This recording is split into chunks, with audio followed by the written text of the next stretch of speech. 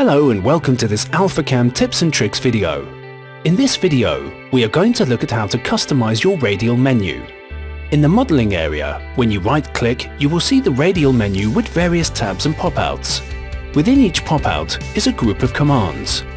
What we see here is the default configuration, however this can be customized to suit your needs.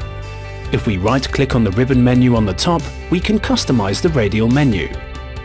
Here, we can add and remove commands displayed on the radial wheel or menu. The right-hand panel showing the commands currently on the radial wheel. We can also see the order in which the tabs are in from the list.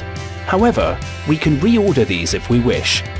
We can also change the radial angle the menu opens at on the wheel. For this example, I'm going to edit one of the sub-menus, changing the angle of the opening and the location on the wheel.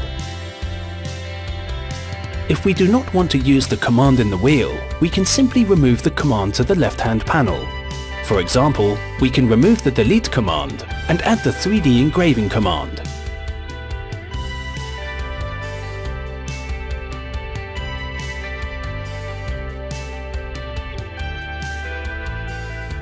We can also create a new submenu if we click on New Submenu here.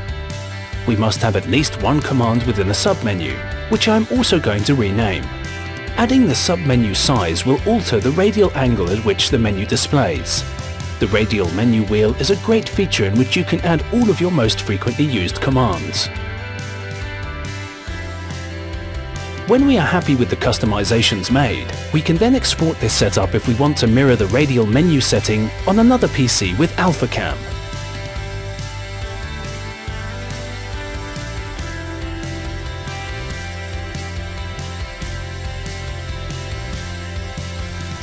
We hope you found this tip helpful as you continue to use AlphaCam. Happy programming!